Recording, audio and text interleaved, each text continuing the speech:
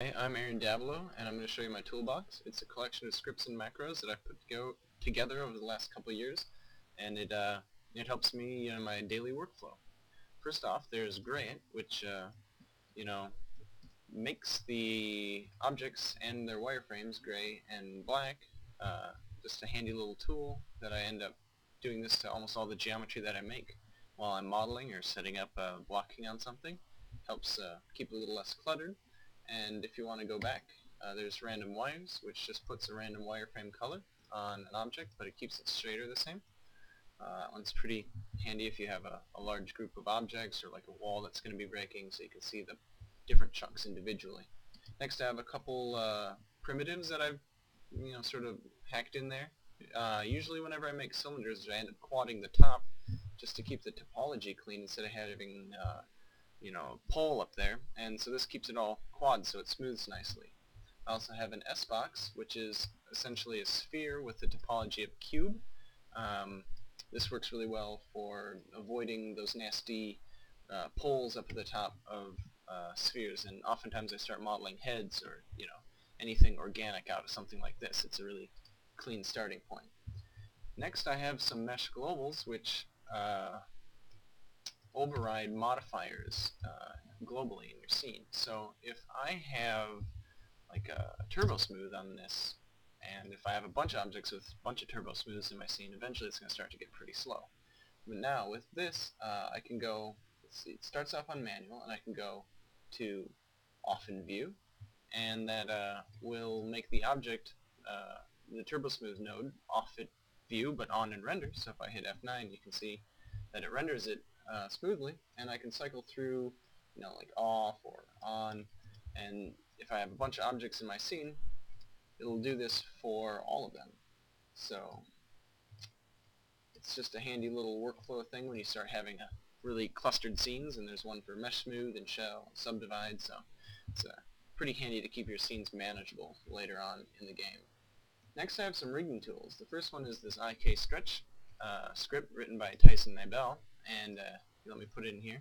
It's a pretty handy one if you have an IK chain, you know, going across some bones. What you can do is select the the end icon here, and if you run the stretchy IK, then the uh, the chain becomes a, a, stretchy chain. So you can see that it's you know it's really nice to get those nice like cartoony characters.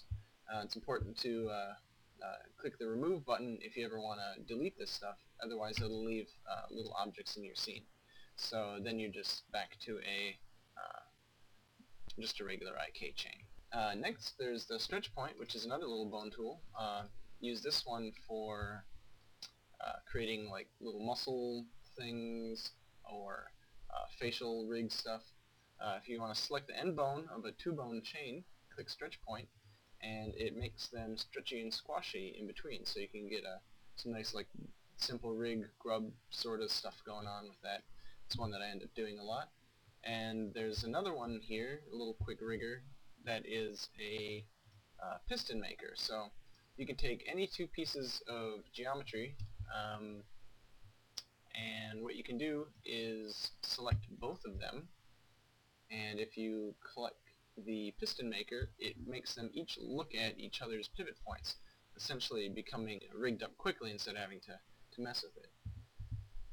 Uh, next, we've got uh, controllers. Um, whenever I'm rigging something and I have a uh, you know, bones or objects and I want to wire to them, usually they'll end up with pretty, you know, dirty offset positions. As you can see here, I wouldn't want to have to add that into my controller what I can do is hit 0, and what that does is it makes a position and rotation list and then dumps a new one in there.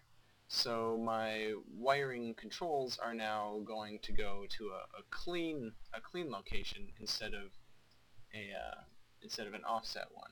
I can also hit clear, uh, and it puts it right back to just a base one. This is nice if you ever have you know, messed up controllers or just want to get something out of a rig really quickly. Alright, so next I've got um, some control objects for you here. Uh, let's say I have uh, a bone as part of my rig, and I want to make a control object for it, so I'll select that bone, and I'll hit control ring and what that does is it makes a an object here uh, that it, the bone is now parented to so I can move it around but if you go to gimbal here you can see that my rotations are really junky uh, not anything any animator would ever want to use. So what I can do here is while having this uh, control ring selected um, you can see there's a gimbal node button and if I hit gimbal uh, it creates an object that that the control ring is parented to. And as you can see I have nice clean rotations here um, front, uh, for your uh, animators so they won't be angry with you. Um, next I have a mirror rig button so I'm just going to open up a, a file here.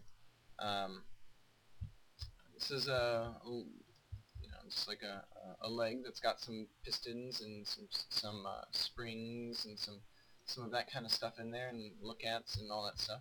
And if you select the whole thing, you can hit the mirror rig button and that just uh, groups, centers, flips, and then checks for any objects that need to be flipped around now that they're reversed. So if you want to take your selection and then copy it, and then you can hit mirror rig. Now you have your other side built, and it's already all uh, all clean for you. There's no uh, you're not going to have like flipped look at constraints or anything like that. Alright, so next I have just a couple last little ones and then I'll get on to the, uh, the little plugin scripts that I made.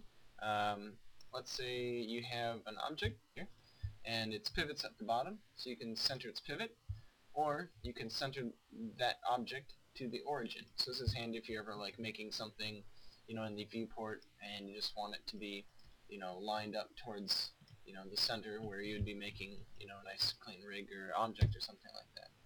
Alright, so now I've got the, uh, the little plugin tools right here. Uh, these are separate scripts, so when I click uh, launch script, uh, the debris maker, it's going to pop up with this new uh, this new user interface here, and I'll just run through this quickly here.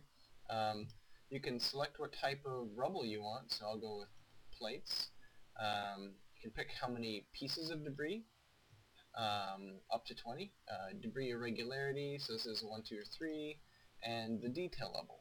Um, UVs, stack, uh, all of these things I'll go into more detail on this script's own page, uh, own video, but uh, I can make particle flow and as you see I'll create this and if I move ahead in time you can see that it's already generated uh, a selection of debris objects and then put them in a particle flow for me.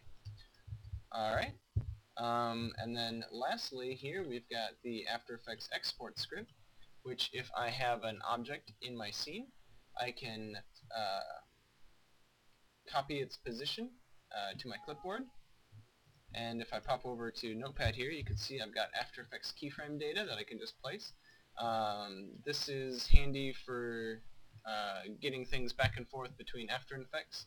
Um, instead of having to you know manually flip these and, and keep track of all of that. And also, uh, you can save it out as a text document, so just save out a, text file wherever you want to. And even more interesting, uh, if you have an animated object um, and an offset custom timeline, what you can do is uh, save out an animated position. So you select your object, um, snap your timeline or your frames to your timeline or just manually adjust them and then export your thing and what it does is it dumps out a uh, text file with keyframe animated data here that you can just copy and paste right onto an object in After Effects and you're good to go. The little thing down here at the bottom is this palette tool um, which I use all the time if I'm building a shader and I have a color in there and I want to save it, I can just drag it right over onto the other side.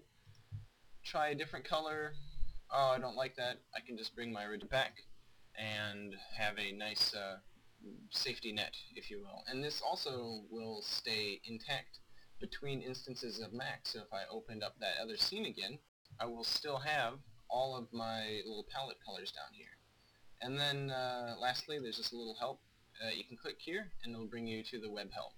So uh, hope uh, hope these tools end up being useful for you. And if you have any questions or you want to send some feedback, you can just click this, go to my website, and send me send me an email.